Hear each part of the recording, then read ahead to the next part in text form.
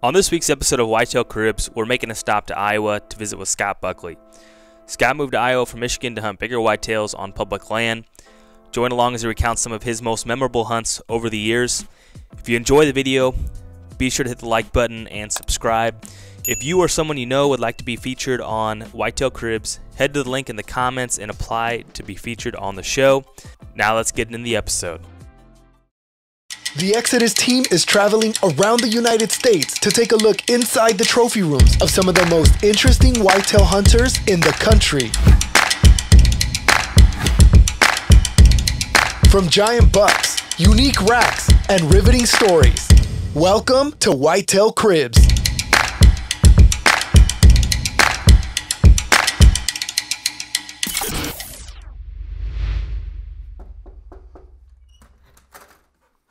Come on in, guys. Nice seeing you. Welcome to my crib. Scott Buckley here. yep. Come on in. We'll go down the basement first.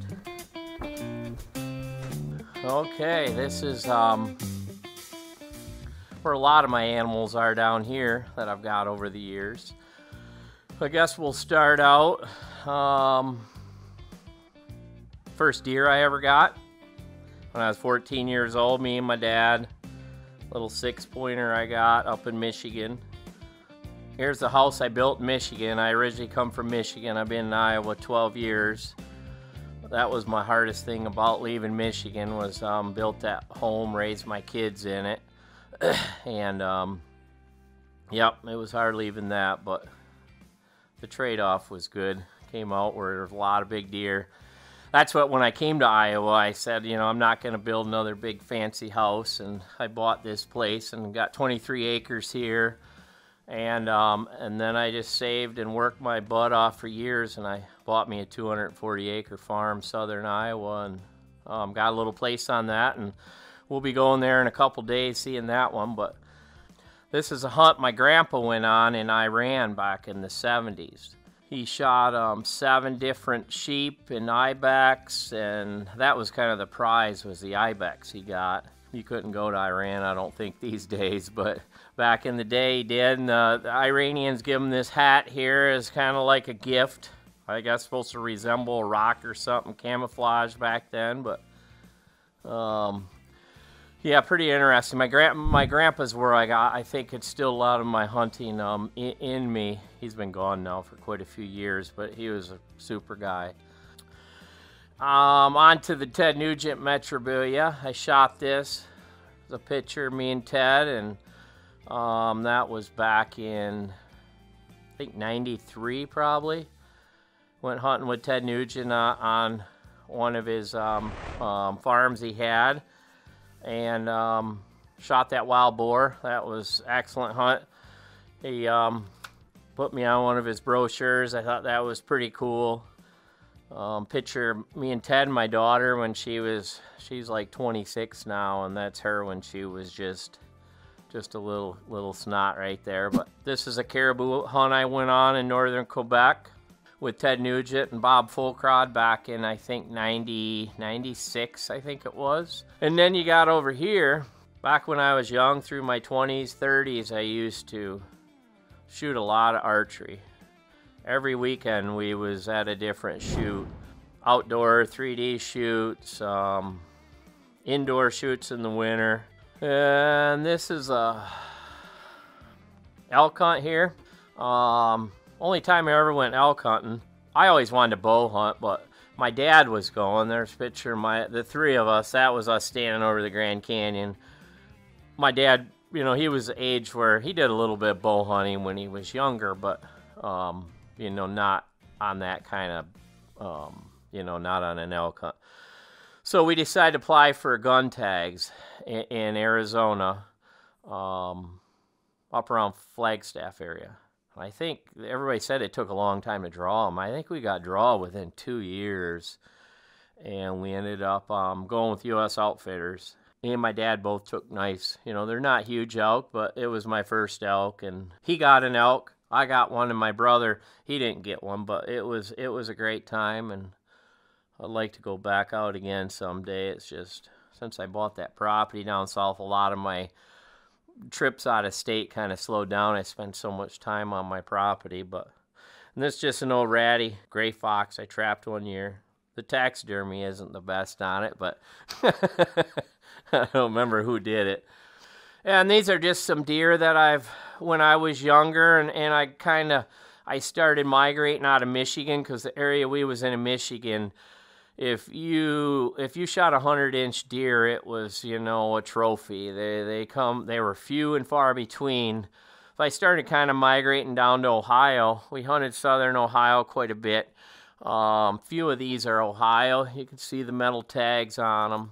I used to hunt southern Ohio, Vinton County, um, County. That's an Ohio deer. This is a Michigan deer when I was younger. Um, that's Ohio.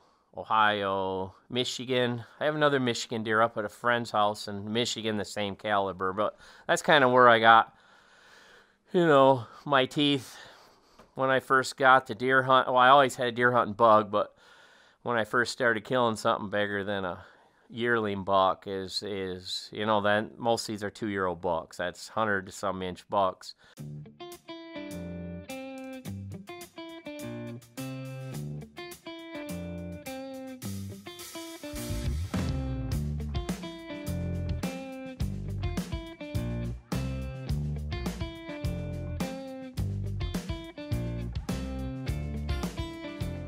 Little bit of my kitchen down here. If I ever have guests, they can um, come down to the kitchen and they can stay down here or whatever.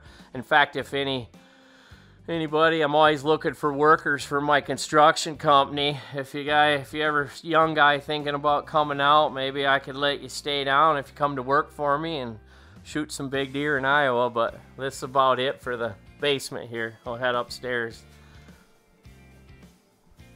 This would be a mountain lion I got on a hunt to Idaho.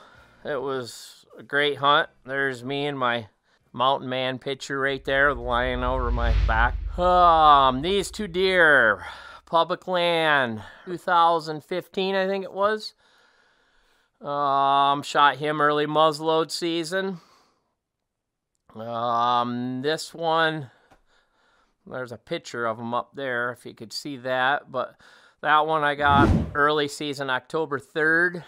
Um, went into a, spot on public land and and in the morning it was cold that morning, real frosty morning, and and I don't hunt a lot early season in the morning, but I knew with it being that it was abnormally cold, a cold front that blew in, and I figured they might be, you know, coming in late to bed, and, and I got way back in on a finger and he worked his way. He come up from the ag fields down below about 8.20 in the morning i won't forget it and he come working up that that finger and and i think a 25 yard shot and heard him crash and you know 170 inch deer. Uh, none of the if i say scores none of them are you know none of them been scored except by me so give or take an inch or two or whatever but I think he was, you know, a little over 170. And oh yeah, one of his sheds. I found that. I knew he was in there. I had pictures of him a couple years. We found his shed, um,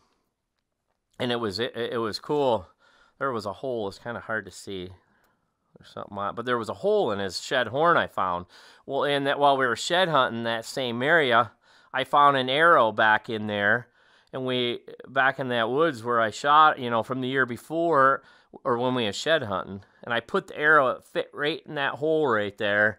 And so we figured somebody, you know, winged him in the horn, and we found the arrow, and you know, the shed was a few hundred yards away. But yeah, some un- unlucky hunter, and then I killed him the following year. But I think it was a muzzy broadhead, if I remember. This buck my boy got on the farm, they estimated it at 10 years old.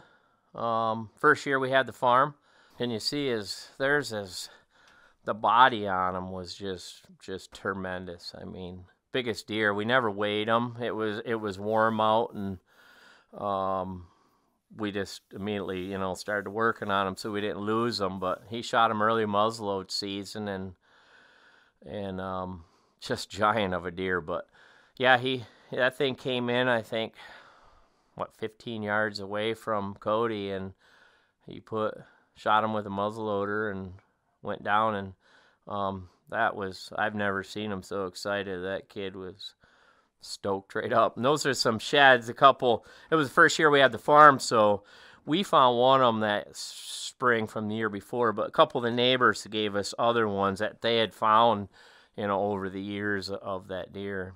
This is a bow, Bob Fulcrot, a friend of mine that I've known for years, hunted caribou with them, and he asked me this year if I'd like to shoot a Martin bow. I've always shot Mathews and and I said, sure, Bob, I would be, uh, you know, honored. They sent me some of the stuff on all my specs and and um, put in for it, and I love it. It's it's just an awesome shooting bow, and um, I didn't get a deer with it this year. First year I haven't killed a deer in in Iowa in 12 years, but um, great bow, and I really appreciate Bob asking me to, you know, sh- shoot with them. So.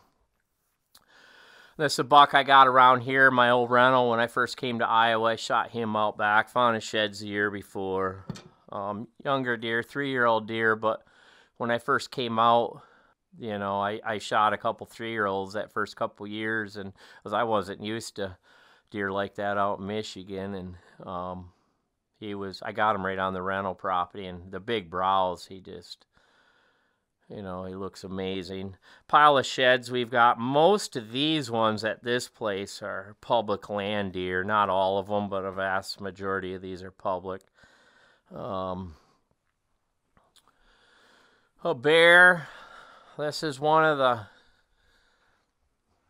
probably one of the first hunts I ever went on out of uh, I don't know, I consider big game hunts or whatever. When I was young, we went to Ontario. Uh, my cousin, neighbor, me, um, I ended up killing that bear up in Ontario. In fact, it was, I can't remember, Timmins, Ontario, maybe. It was a town, town Shania Twain was from. I always thought that was cool. That's about the time she was, they said she was playing in the bars and stuff back then, you know, about the time I shot that bear. I wish I'd have knowed back then. It'd been cool to check her out before she got big. But this is another buck I got on that private piece, a few miles from here.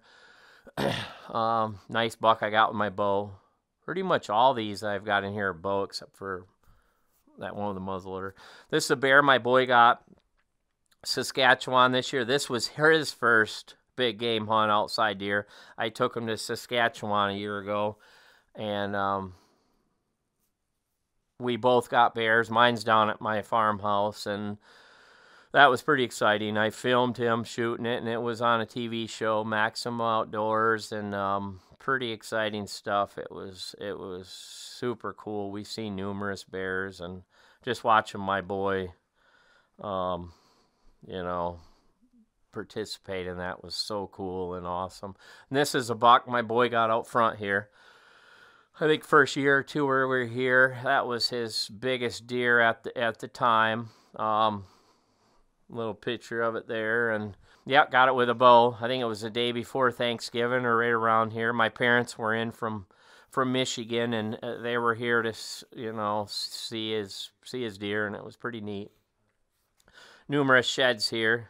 I think most of these were public. I know that was a big one I was hunting two years ago. He was the year after that, he was 180 some inch deer, and um, yep, never never seen him, but had lots of pictures of him. Um, that was another public land, big tall eight pointer. I was hunting that one time, and he was quite old. Some of these deer I had pictures of for two, three years. And North American Whitetail magazines, I've been a member of them for since I was a kid, probably 20 some years old.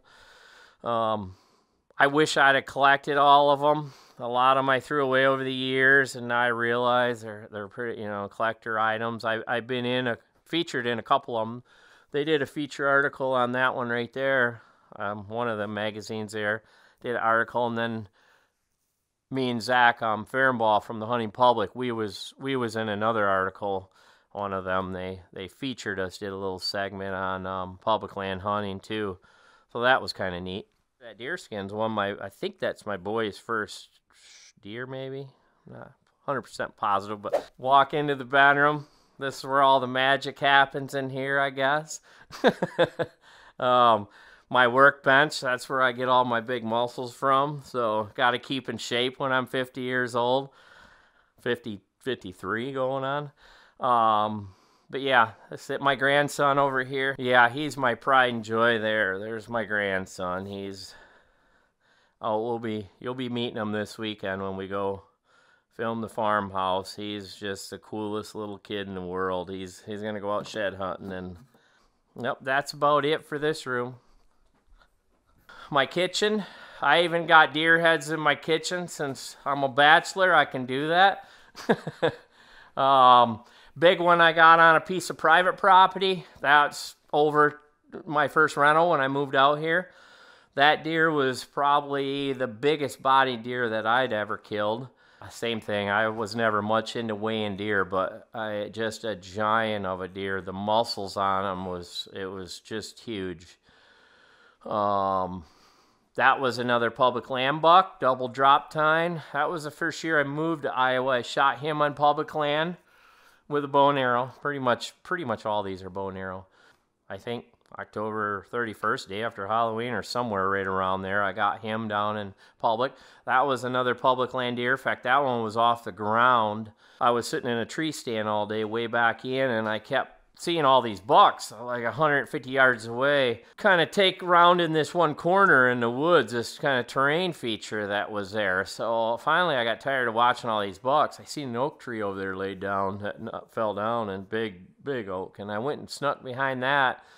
And as i was settling in this is i think one two o'clock in the afternoon i looked down and i could see him standing down there I tucked in there, got back in. I couldn't see him after that, but I wasn't there 10 minutes, and here comes a, a 138 point walking by me right in front of me. I thought, wow, if this continues, you know, I should get a shot at something. And he never seen me. I was behind this big blowdown. I don't know. An hour later, here he comes walking by, 25 yards. I, I um grunted and shot him off the ground. Watched him crash out too. That's 160 inch deer right there. Um, that one was that one was close. I think that was just over 170, and that one was high 150s over there. And this is my kitchen. Um, basically, you know, same old fridge. Always got alcohol. Anybody wants one? Always full of venison. That's one thing we. We eat a lot of it. Our main diet is venison. Big deer on public land, Iowa. That deer was another 170 inch deer. Shot him early muzzleload season on a cold front. He come um, sitting in a tree stand. Went out. It was a cold front coming in. Most of these early muzzleload hunts in Iowa, they're usually the second, third week of October during the October law when, you know, when it's pretty tough hunting big deer. But if you get them on a cold front and get close to their bed, he came right out of a bedding area, out of a cedar thicket. I was right on top of it. I mean, within yards. And he came out and, yep, put him down. It was one of my better bucks at the time. I don't remember the year, but Oh, here's some cool pictures. This is um, my grandpa and grandma, black and white. I don't know the year. My grandma used to hunt pheasants. They got a bunch of pheasants that day, and that dog's name was probably Duke. And that's a picture one of my relatives gave me here recently. I think it's from 1934, if I remember correctly. That's my great grandpa Snook. I remember him. He passed away when I was 20. This is another buck here. Got him on public land. 160 inch eight point, my biggest eight point. Middle of November, he come running in. There was like two, three bucks, hot on a doe. They come out of some private land, and I was, I don't know, 75 yards off the border and they come running out of this cedar thicket and I was right there. He run right under my stand I was in in a big oak tree and he they just come plowing under me and I couldn't get a shot. And they stopped about 43 yards away. At the time it was the longest shot I ever took at a buck. I've shot does that far, but yeah, I ended up he was standing there and and drilled him and I don't know 100 yards later we recovered him too. And these are some cool pictures. These are the bucks my kids got this year. They both got really big eight pointers on my farm down south. Early muzzleload season. super exciting. Friend of mine, Steve Noble from Maximum Outdoors, he filmed it for his TV show. It will be out this fall on the Pursuit Channel. He was filming my daughter, just awesome footage. And I filmed my son, and um, it was just the best evening ever. They both shot them the same evening, about two hours apart. We were sitting on, they, my daughter was sitting on a clover plot, and my son, we, me and him were sitting on a turnip plot. And um, super exciting. Here's a cool picture before I kick you guys out of here of my dad. My dad is everything to me. I, this is the first year he hasn't come out shed hunting and he's 78 years old. He just it didn't work out where my brother and them could make it out. Um, but yeah, they've been out here last three years shed hunting this week, and but I'll I'll head home a couple months and see them. But that's about it, guys. It's time to get out. I'll um I'll see you guys in a couple days down at my farm for part two, and we'll do some shed hunting to be continued.